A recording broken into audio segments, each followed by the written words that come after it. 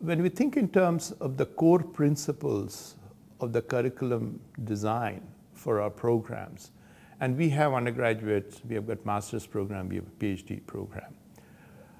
Especially for the undergraduate and the masters, we clearly make sure that leadership is a big part of it.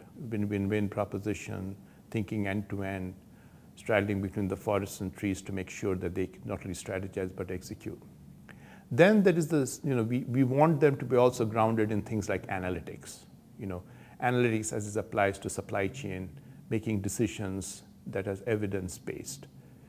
Then we care about things like global orientation, that they have a global outlook, that whether it's at the undergraduate or the graduate level, they get to understand the realities of global markets, the challenges of catering to even things like underserved community in underdeveloped countries. So this idea of reliability, responsiveness, resilient, and responsible supply chains is another piece that we'd like to embed. So these are like topical issues that are covered in our curriculum in the classroom by through by courses.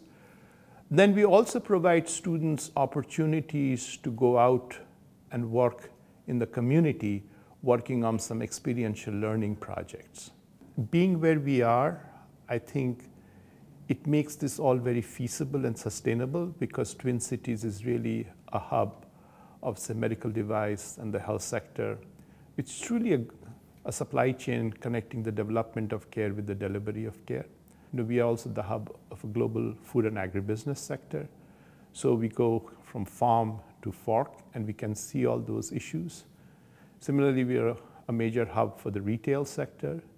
We can see how orders are taken, how the orders are processed, how the orders are fulfilled. And then we are also part of a global manufacturing industry so we have the 3Ms, the Donaldsons, the Polarises, and therefore, because of this presence of these sectors, it ensures that the work that we do by way of either research and teaching is firmly grounded in some of these rather very global, growing, and evergreen sectors.